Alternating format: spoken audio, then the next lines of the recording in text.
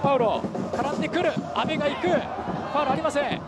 大きく蹴り出します藤村。さあこの競り合いセカンド拾ったのは金沢。ボールが杉浦そしてスルーパスが通った。金子が出てくる。キーパーをかわしてシュート。吸い込まれた。ゴール決定的なゴール。制限金沢。金子今シーズン2得点。ここで金沢にゴールが生まれました。金子はこのために入って本当まさに仕事しましたね。そうですね。ワンチャンスを生かしました金子。FC 岐阜ここで失点痛い失点。いやこれ角度のないところからのシュートでしたからね。難しかったと思いますがビクトルもねギリギリまで粘ったんですけどもね